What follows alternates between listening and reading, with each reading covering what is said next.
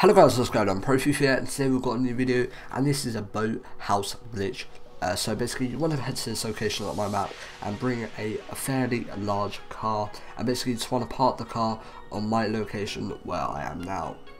Once you do that, you want to get in the right position, so you need to go out your car and climb on top of the car, and you want to sort of press square, and hopefully you will go up into the wall breach. If not, then you need to adjust your car until you actually do it. From here, you cannot kill, so it is a god mode, guys, and you can just kill loads of people while you're at it. Be aware, if you walk behind um, a few steps, you might walk into um, the dark hole where you'll get teleported back up to the surface. But you kill lots of people, as you can see, I killed loads of NPCs and that. But this is pretty much the end of the video guys, as I said thank you for watching, please subscribe if you're new and does have a channel, and I'll see you guys in the next video.